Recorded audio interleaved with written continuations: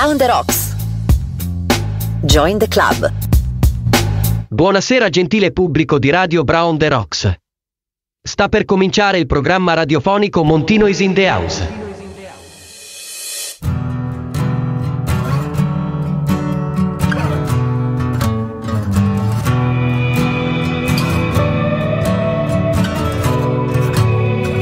Forse il nostro viaggio porta un po' più lontano.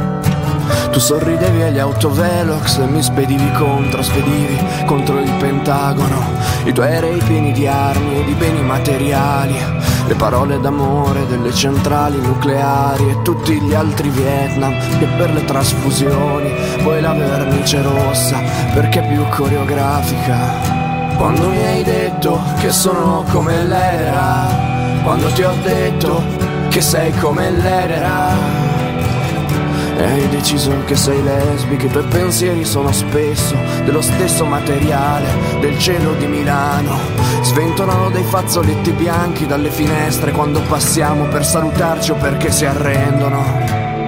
E tutti i nostri no, dove vuoi che ci portino? Tutti i nostri no, dove vuoi che ci portino? E neanche se ti pagano, ma tanto non ti pagano. E neanche se ti pagano, ma tanto non ti pagano. E neanche se ti pagano, ma tanto non ti pagano. E neanche se ti pagano, ma tanto non ti pagano. Il motore eterno del nostro furgone le ombre rosse tornano nella tua voce che era per rischiarare sulle puttane in via Europa ricominciava a nevicare su questo schifo di amore era per respingerti in mare per farmi tempeste lente rappresaglie tante utilitarie per conformarsi ad un certo modello di dolore per un malinteso senso del progresso per un difetto di fabbricazione cieli di Regina Celi e nei negozi chiusi, dove cazzo siete andati tutti?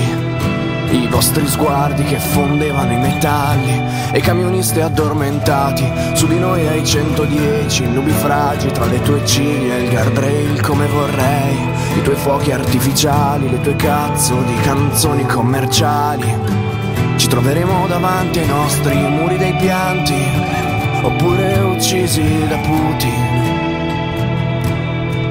E quanto costa? I tuoi amici che si contano sui petali di quei fiori che quando soffi si disfano gli aerei per Palermo fermi a prendere freddo. I 10 grammi nel tuo reggiseno, i pescherecci che non tornano, quei lunghi mesi immobili santi, raccoglitori di pomodori, le bombe al fosforo, quei momenti che respiravamo forte come se stessimo correndo, come per commemorare i tuoi capelli lunghissimi, i lavori irregolari, i militari iraniani, i tramonti che hanno dei colori chimici, i detenuti morti, i venti forti dei deserti libici, i venti che incendiano i campi nomadi, le meteoriti, le navi ferme immobili tra l'Italia, Malta e la Libia, i primi fari antinebbia, le nostre ultime bufere guardie notturne che vanno a dormire, non c'è niente da capire, non c'è niente da capire.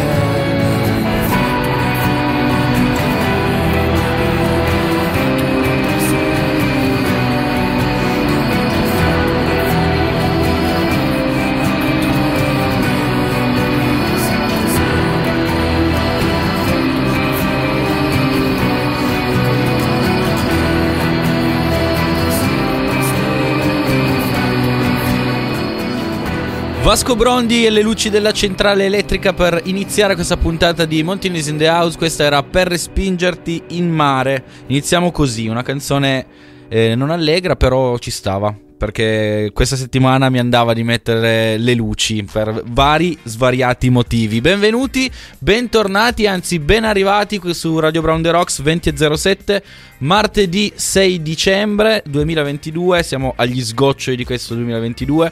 Mentre arrivavo in radio ho sentito una bolgia di, eh, di ragazzi, erano tutti ragazzi marocchini che festeggiavano il passaggio del turno contro la Spagna. Una. Mm, una, un risultato epico e ero, sono stato molto contento perché mi hanno fermato e abbiamo fatto un po' di festa insieme. Comunque, eh, se mi seguite già sapete quale sarà il, l'ospite di questa serata, sono molto contento, eh, l'ho pubblicizzata dicendo che sarà una puntata che, che farà bene al cuore ed effettivamente sarà così, perché questa sera insieme a me, ah, scusate intanto la voce, sono un po' malato, però mi perdonerete, anche perché questa sera vi porto veramente una puntata super e vi presento Claudia, benvenuta. Ciao Claudia.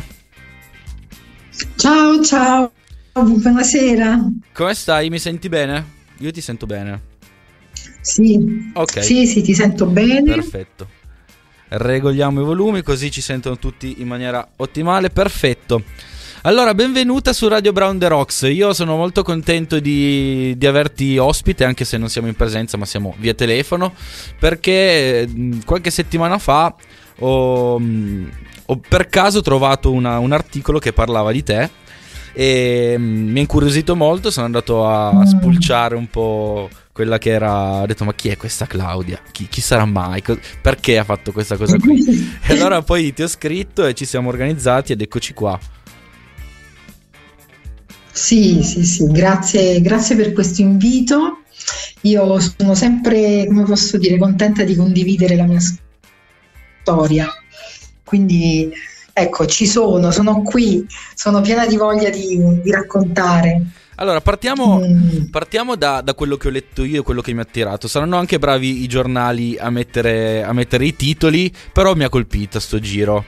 Eh, Claudia lascia la vita da poliziotta per diventare pagliaccio. Partiamo da, dal passato, partiamo da te, da quando sei, da, da te ragazzina. Quali erano i tuoi sogni da ragazzina e come sei arrivata a fare... Eri nei carabinieri o polizia? Questa cosa mi è, mi è sfuggita. No, no, ero nella polizia perché quando sono entrata eh, comunque solo nella polizia sì, c'erano, potevano entrare le donne, quindi comunque io, polizia di Stato non era un mio sogno e nemmeno essere un clown era tra i miei sogni di bambina.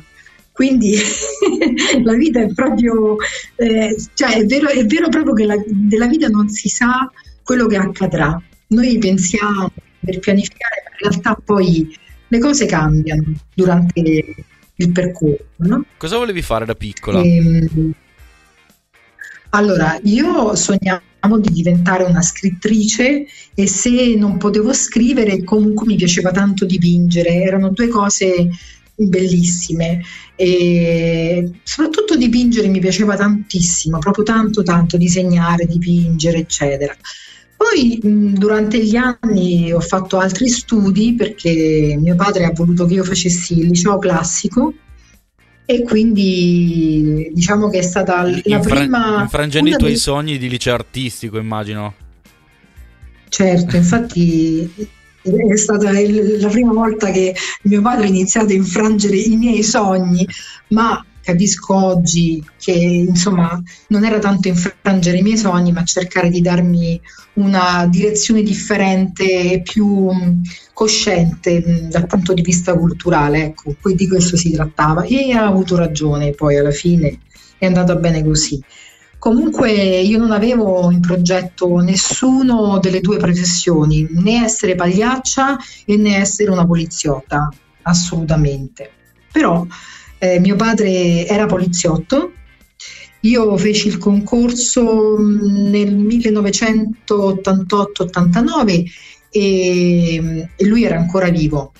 Poi lui nel frattempo, siccome era malato, ehm, alla fine insomma se n'è andato via. Però in questo periodo qui, dopo che lui andò via, io vinsi anche i test attitudinali e quindi, quindi mi presero non, in polizia. Non, ave, non eri ancora diventata poliziotta quando tuo padre era in vita?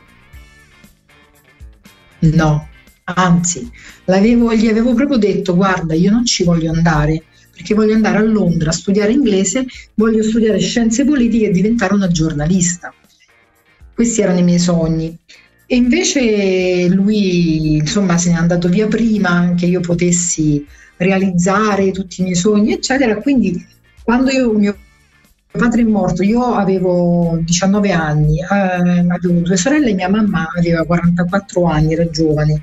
Quindi insomma mi dice, mi fa un discorso proprio da, da adulta, no? Quindi mi dice guarda Claudia che se tu vuoi studiare eh, insomma, forse è il caso che accetti questo lavoro perché comunque è un lavoro, tu con i tuoi soldi eh, puoi fare quello che ti pare, quello che tu vuoi. E io dissi ok, va bene, perché sentivo dentro di me che eh, era giusto, perché era sano questo. Io non potevo stare a casa con mia madre che aveva la pensione di reversibilità con due sorelle, era proprio non era possibile, no? Io volevo anche essere molto indipendente perché da, da, quando sono piccola voglio, eh, da quando ero piccola io sognavo l'indipendenza della donna, essere libere, io ero già abbastanza combattiva. Quindi, destinata niente, a quello che poi è successo, ma poi ci arriviamo. Sì, sì, sì, certo. Ho fatto tutto un percorso, sono stata nella stessa scuola di, di, di formazione della polizia a Trieste, dove è stato mio padre anche. Quindi in realtà ho un po' rivissuto delle tappe sue e, ehm, e, poi sono tornata a Roma dopo la scuola, quindi ho fatto vari servizi in polizia, mi sono specializzata poi in informatica, eccetera, ma non ero felice, è inutile, cioè non ero contenta, non ero felice, sentivo che il mio fuoco dentro non si era spento e che stava divampando sempre di più. Così diciamo che disperata, parlando con un'amica, dico io non, non sono felice, non, non, va bene così, avevo, avevo 23 anni, 24, già stavo in polizia da diversi anni, perché io nel 1990 già stavo in polizia, quindi molto molto giovane e quindi la, questa ragazza mi dice, una mia ex collega che anche lei non voleva stare lì, in polizia, dice, una collega non... della polizia, quindi? Sì, anche lei, eravamo giovanissime, perché tutte quante avevamo fatto il concorso per i mondiali, avevano indetto questo concorso perché c'erano i mondiali ah, del giusto. 1990 e quindi eravamo tanti, tanti, tanti giovani. Infatti io mi sono anche, ho vissuto anche degli anni in polizia dove comunque mi sono divertita, in che senso? Che nei turni, eh, nei turni eravamo giovani, tutti avevamo 21, 23, 24 anni. E insomma io mi sono, sono stata bene, non è che sono stata male, però non era il mio posto, non era quello il mio destino.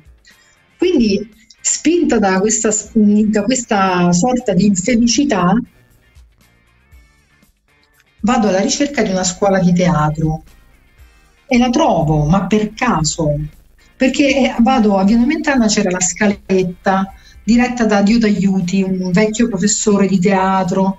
E, e quel giorno faccio, cioè vado lì, so che c'era questa scuola e vedo che c'era tanta gente. Io non masticavo il teatro, eh, nel senso che sono, era l'ultima cosa ti ho perso un attimo. Fosse era, adatto era, a me. Ti, ti ho perso e un attimo. niente. Dicevi, era l'ultima? Era l'ultima cosa che pensavo fosse adatta a ah, me. Okay. Il teatro, lo, lo scena, il palcoscenico.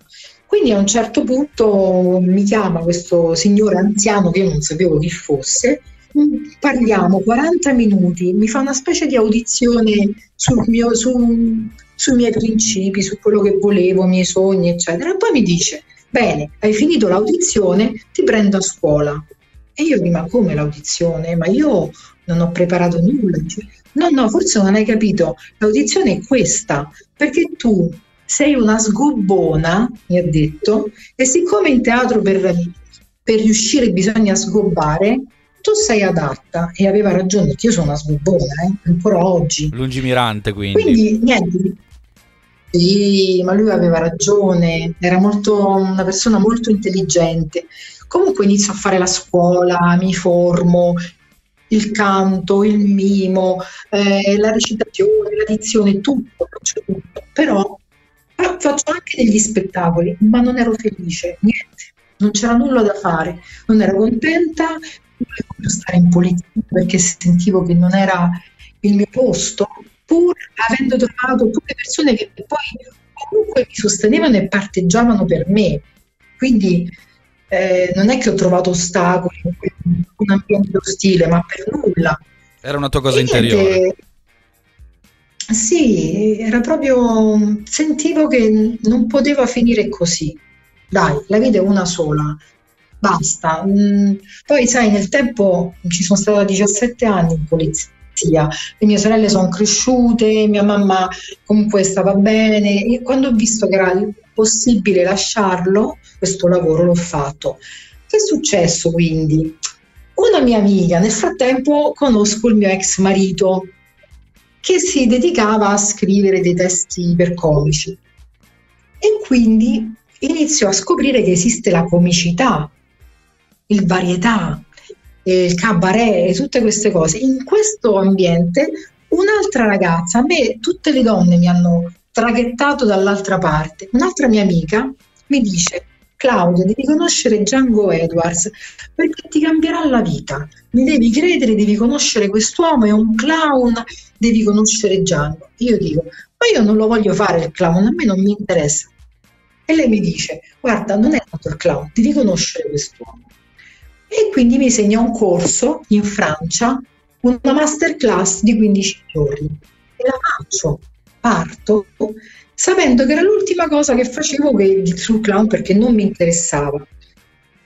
Come ho capito e sono arrivata lì, io ho fatto i primi due giorni ed ho capito solo la portata, la magnificenza e la grandezza dell'essere clown, non ce l'ho più fatta e ho capito questo è quello che io voglio fare.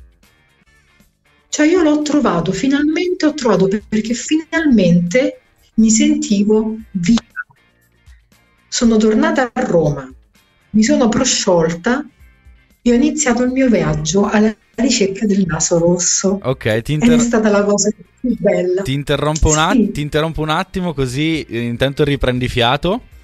E, ehm, e poi, poi, parliamo di, del dopo questa, questa esperienza.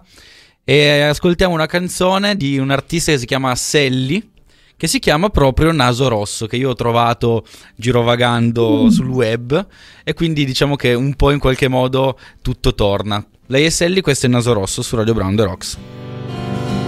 Chi ci insegna a ridere quando ci mostrano come non essere tristi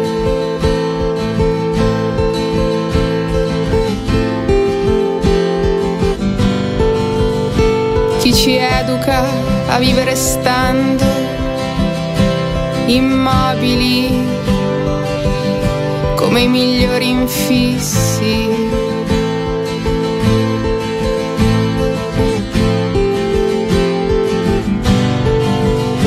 Chi ci spiega il valore dei sogni se ci raccontano che succede quando dormi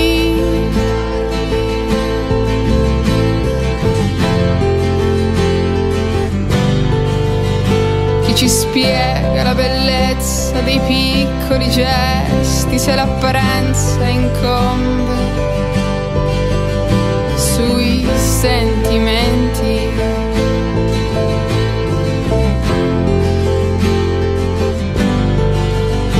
Tra le piccole cianfrusaglie raccogli una rosa bella, ma mi racconti quanto è secca, ma mi racconti quanto è secca e tra le piccole cianfrusaglie raccogli una rosa e bella, ma mi racconti quanto è secca, ma mi racconti quanto è secca e così rimani nascosto quando potresti mettere in mostra ogni tuo pregio.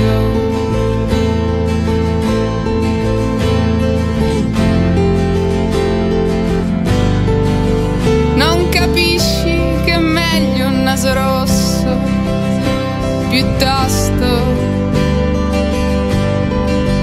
che il tuo alter ego.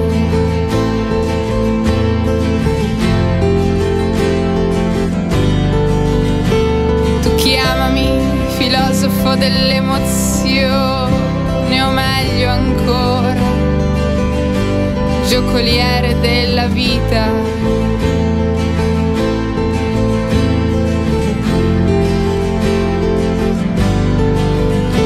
Ma sai, con l'arcobaleno, la tempesta dal sole si è sentita tradita.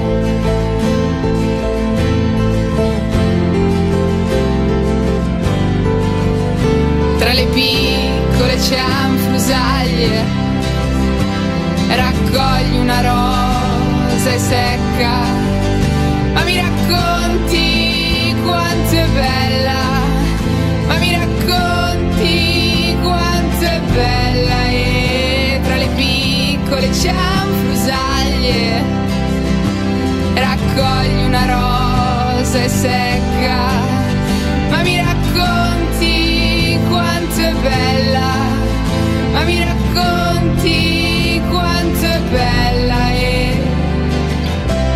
Ed infine se vuoi, non esistono limiti, puoi arrivare oltre il cielo e i suoi confini ed in fondo se sorridi al passo coi brividi sei partito. Fino alla fine Sally Naso Rosso su Radio Brown The Rocks eh, chiude la canzone dicendo sei partito e noi siamo, eravamo rimasti alla masterclass che Claudia ha fatto nel 2005 da cui è iniziato tutto, da cui è partita eh, tutta la sua, la sua storia. Perché c'è un prima e un dopo la masterclass. Come avanti Cristo dopo Cristo tu hai eh, avanti masterclass e dopo masterclass mi sembra di aver capito Sì, infatti, infatti vedo che il naso rosso e la comicità sta arrivando anche lì via etero, eh, via mm, aerea. Senti, allora io stavo- ero rimasta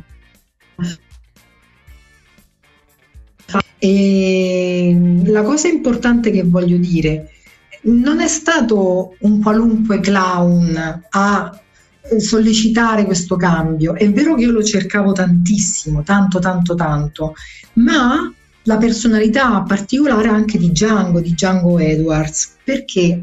Perché io oggi posso dire che se avessi conosciuto un altro clown, non avrei potuto avere quella spinta, ricevere quella spinta energetica forte, di convincimento, di convinzione forte per poter fare il, il passaggio che poi ho fatto.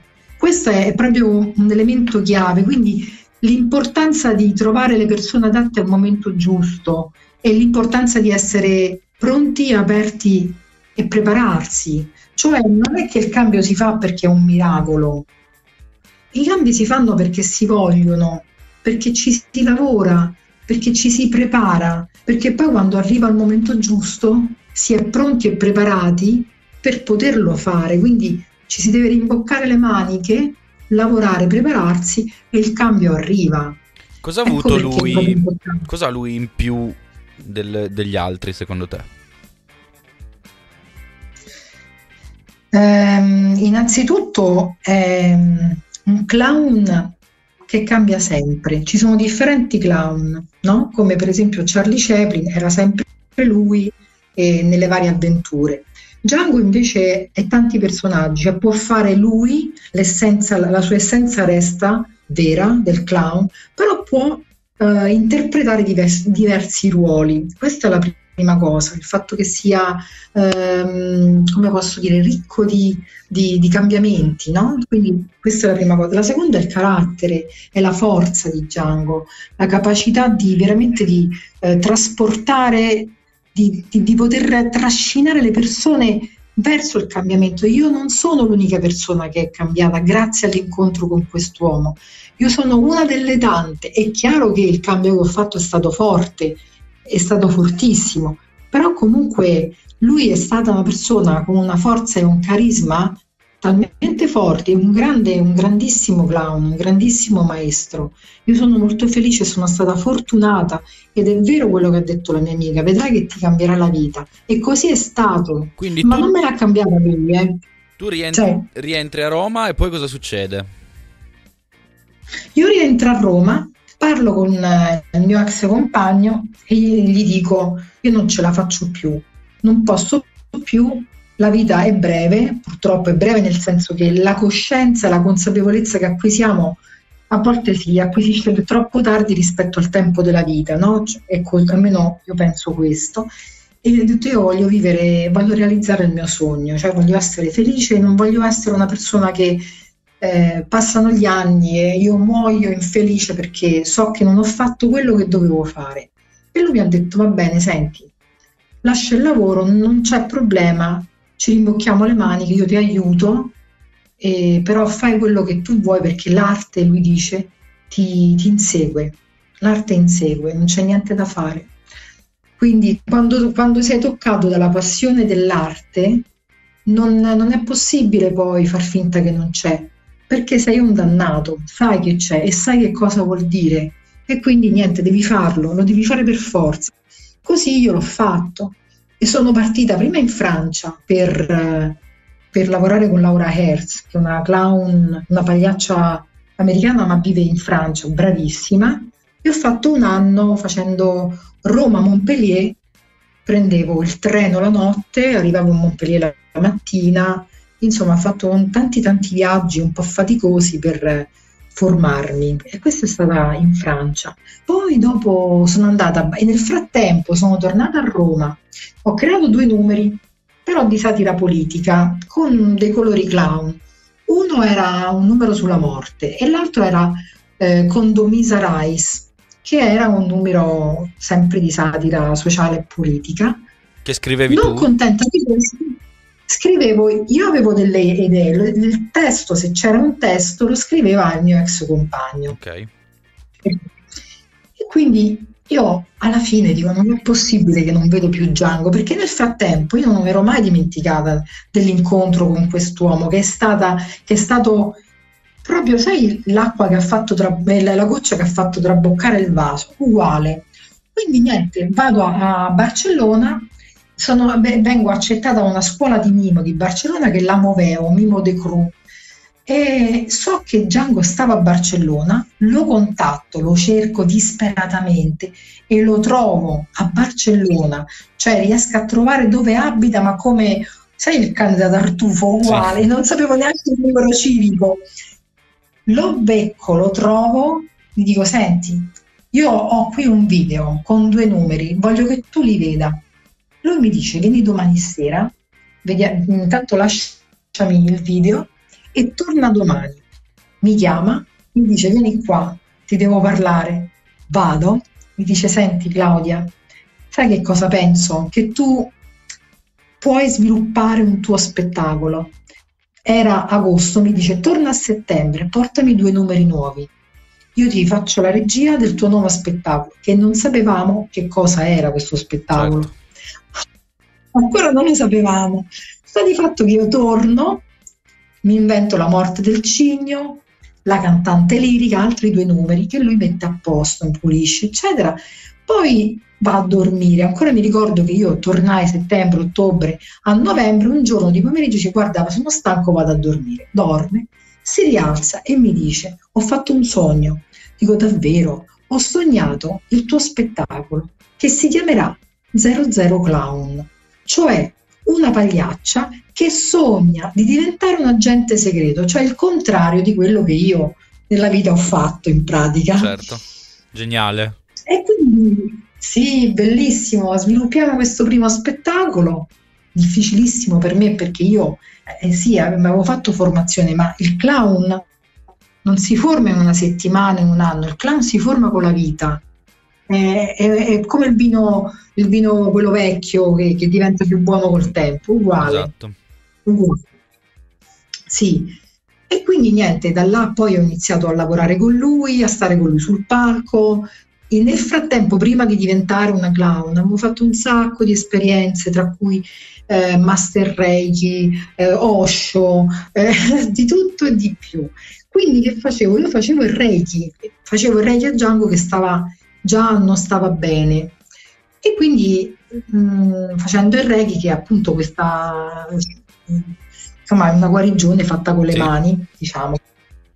E lui mi dice: Senti, Claudia, io so che tu fai anche meditazione. Dice: Perché domani non vieni ad aprire il mio corso sul clown? Dico: Ma come? Io non so, cioè, non so cosa fare.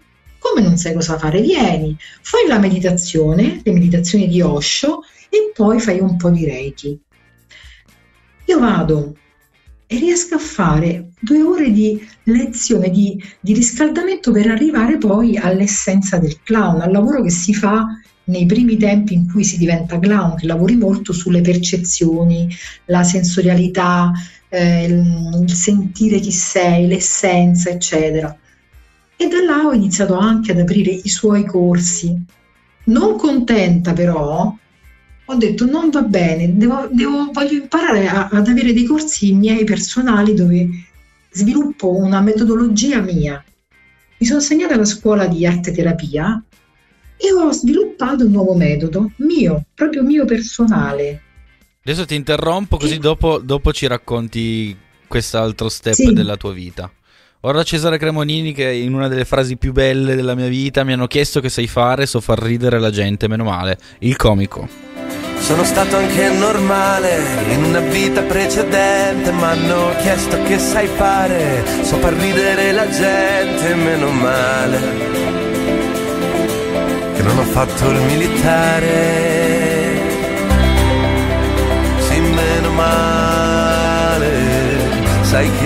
risate, c'è chi non conosce Dante, che c'ha tutto da imparare, chi è felice quando piange, chi si veste da soldato a carnevale. Io mi nascondo tra la gente, sia carnevale, non so che fare tu, vestita da bambina, prigioniera vuoi scappare da una perfida regina, così seria da star male, non so dirti una parola, non ho niente di speciale, se ridi poi vuol dire che una cosa la so fare, se mi lancio in una aiuola casco e non mi faccio male. E l'occhio ride ma ti piange il cuore,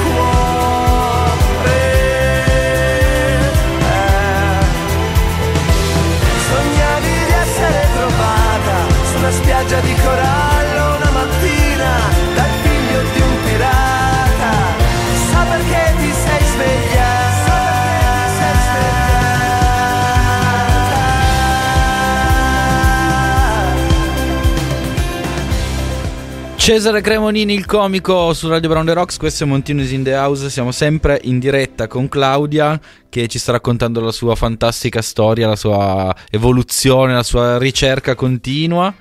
E siamo arrivati al punto in cui lei eh, ha capito qual è la sua via, eh, inizia a, a percorrere la, la via del, de, dei clown, ma non è ancora soddisfatta, le manca un pezzo, quindi torna in Italia e dice sai che c'è, io devo fare un'altra cosa che adesso ci racconta. Eccoci qua.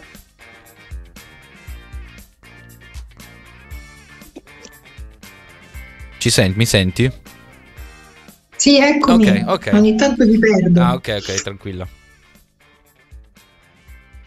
Allora, quindi niente, torno in Italia, lascio definitivamente il lavoro, creo due numeri, mi, mi incontro con Django e Django decide di farmi la prima regia del primo spettacolo, chiaramente.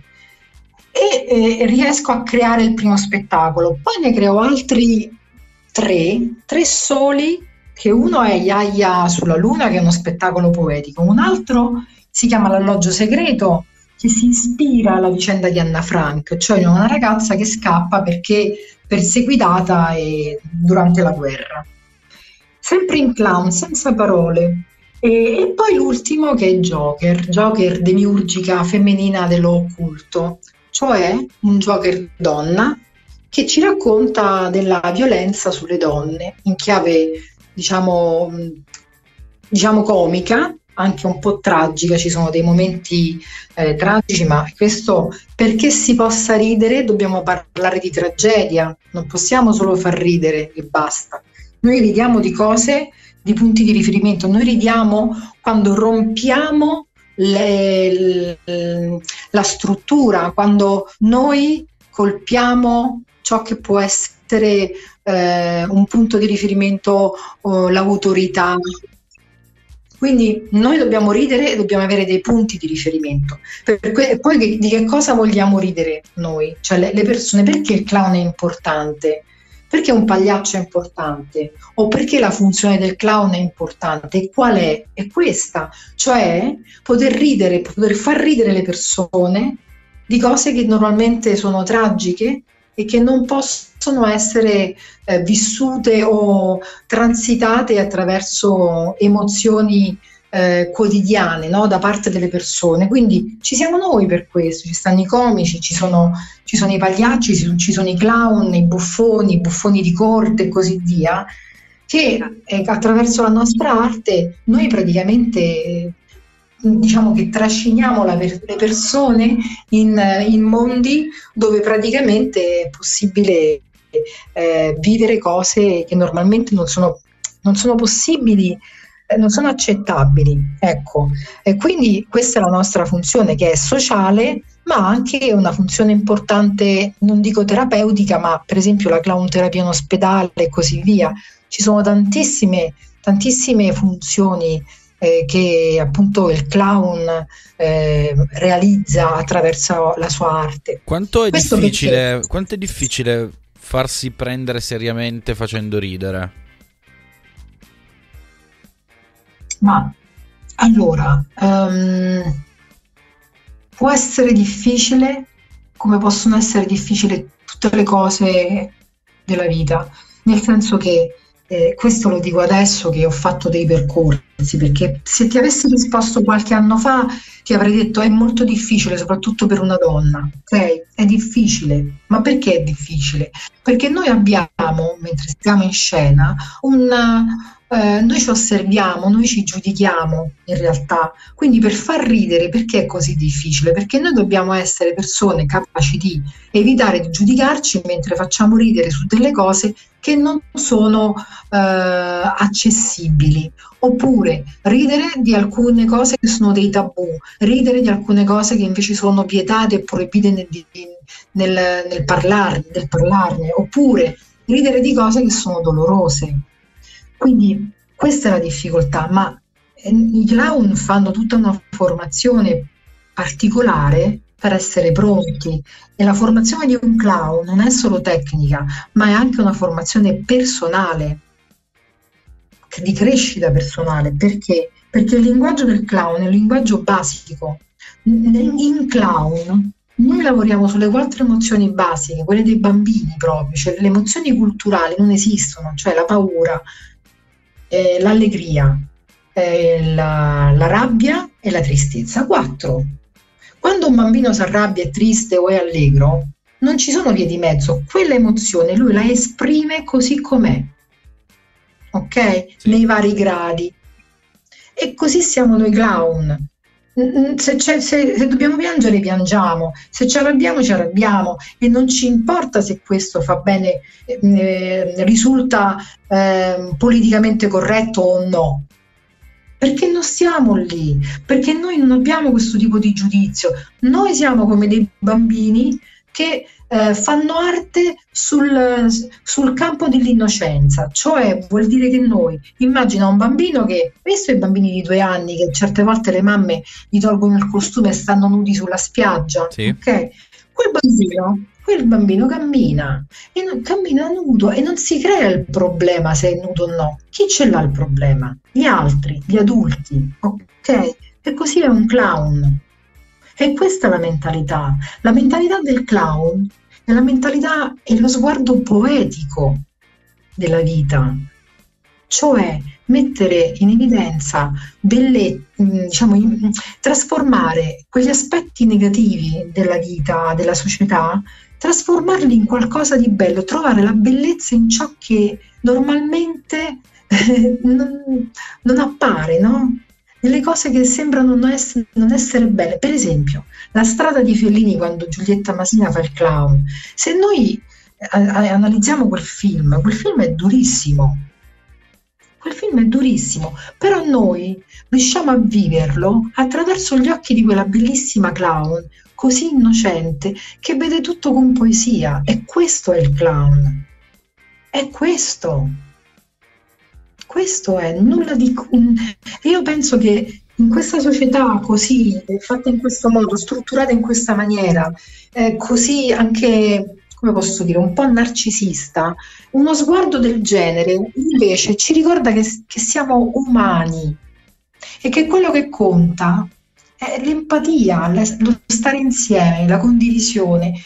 Questo che succede? Succede anche questo, che quando un clown è in scena, perché si ride? Si ride perché quando noi rompiamo i tabù, l'angoscia che noi sentiamo, ok, culturalmente parlo, è così grande che eh, noi possiamo solo accettarla e, e affrontarla attraverso la risata, ok? Quindi un clown in realtà è come una marionetta, ok? È lo stesso la nostra psiche fa lo stesso processo, cioè sulla marionetta noi proiettiamo le nostre parti e vediamo fuori qualcosa di noi, questo tutto a livello inconscio, di inconscio, no? In, non, certo. inconsapevole. Però la marionetta, la marionetta fa delle cose, si muove, eh, Pulcinella che viene presa a botte col diavolo, eccetera. Mi ricordo, io mi ricordo queste marionette quando ero piccola e, e io vedevo il diavolo e Pulcinella che se, mh, faceva botte con il diavolo e così. Erano tutte parti mie, erano parti che avevano bisogno di essere eh, vissute. Non potevo farlo perché mica potevo prendere a botte mia sorella, mia, cioè era chiaro, però vedendolo fuori io mi divertivo tanto era come se rimodulassi mio, la mia interiorità e così fa il clown. Il clown in scena fa cose che gli altri non fanno, ci fa ridere come le affronta, la maniera in cui le affronta e mentre noi guardiamo il clown noi rimoduliamo il nostro inconscio e nostra, il nostro modo di stare nel mondo. Ecco. Quindi in questo senso il clown ha una funzione importante no? di rimodulazione della, della, del, della, persona, dell'individuo, ma anche della società. Perché non ci, non ci dobbiamo scordare che in tutte le tribù primitive e in tutte le culture di tutti i tempi c'è sempre stato un buffone. Si chiamano buffoni sacri, tant'è che questo fenomeno del buffone sacro ha preso il nome di eh, clownismo rituale. Esiste un bellissimo libro proprio che parla di questo. Tra poco mi Quindi... racconti del, dell'arte terapia, adesso eh, la canzone che hai scelto tu e dopo mi dici anche perché l'hai scelta. Questa è Smile. Smile, though your heart is aching. Smile, even though it's breaking. When there are clouds in the sky, you'll get by if you smile through your fear and sorrow. Smile and maybe tomorrow you'll see the sun come shining through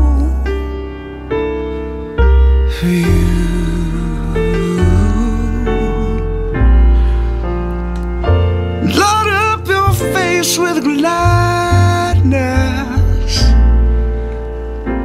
Hide every trace of sadness.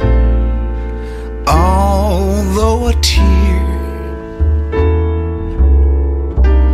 may be ever so near, that's the time you must keep on trying. Smile, what's the use of crying? You'll find that life is still worthwhile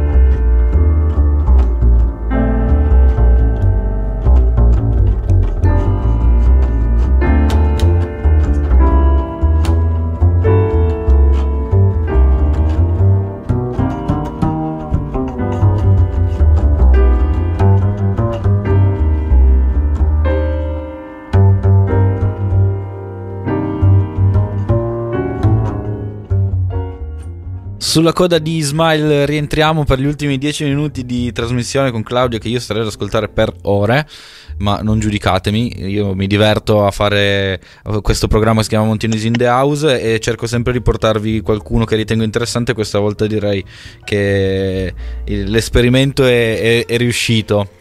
Arriviamo al, all'arte terapia che è un po'... Eh, la fase finale del, del tuo percorso, finale eh, a livello di step che poi sta durando e durerà ancora per molto, immagino.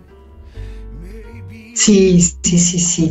Allora, l'arte terapia perché è così importante nella, nella mia vita e anche nel, nel mio, nella mia professione? Perché, perché io ormai ho sviluppato questo metodo che attraverso l'arte terapia mi aiuta a fare dei corsi di creazione con i quali io poi accompagno, mh, sono dei corsi di gruppo anche individuali, dove io poi sviluppo eh, attraverso appunto l'arte terapia dei numeri, dei personaggi.